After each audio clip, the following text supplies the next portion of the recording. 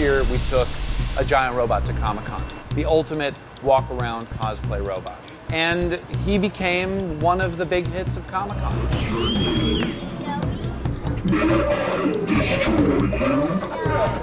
The idea, obviously, is to be bigger and better and more innovative and kick last year's butt.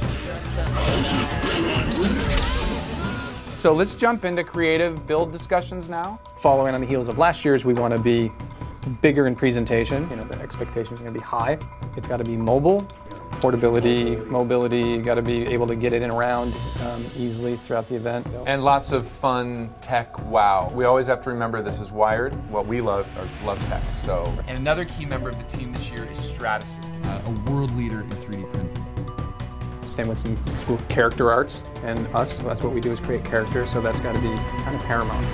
Now comes the fun part. All the legacy effects artists are going to pitch their creature concepts. And so it would be this like really ferocious, imposing thing, but then his chest would open up and it would reveal Cat Chick pilot. How are you seeing it moving around? I was just imagining it built on a frame with bicycle wheels so they could have a couple guys pushing around inside. in between bionic and mechanic Sure. style. So Chrome Insectobot. My original profile was sort of monkeyish, and then it sort of went beakish as I was sketching it. If it was more monkeyish, then you could actually include lip Yeah. articulation, and if you wanted to stay away from someone, like Jim said, some of the problems you get with lip articulation. Exterior, deep space.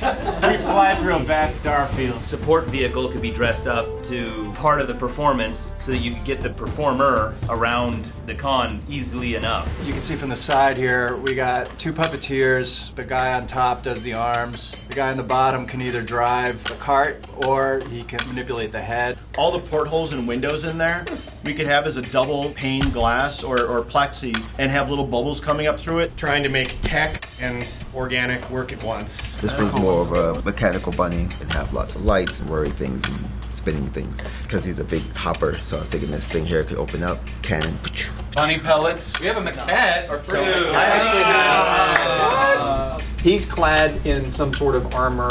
He's not all fur. He's hidden inside of a dome, so it reveals him. So he's the barker. He's the guy at King Kong's like, come see the monster, come see the show. These legs are articulated that could potentially be three to four feet tall. Retro Victorian steampunk robot that's like a war machine. The thing he's pushing right there would be a vortex cannon. Dave had done uh, some concepts for Dragon, armored or fully metallic. Each one innovative, different.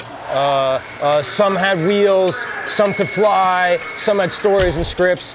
There was one design that sort of stood above the rest. Bigger, better, better. Let's hear Alan for Scott, Alan. ladies and gentlemen. Bowden. So we won. They love our stuff. They like it. That's what really kind of blew everyone away was just getting the scale and, and having that like how the hell is that working? You're never going to imagine there are three people in there. Because how is this happening? We have to make sure that this will actually work, or we're back to the drawing board.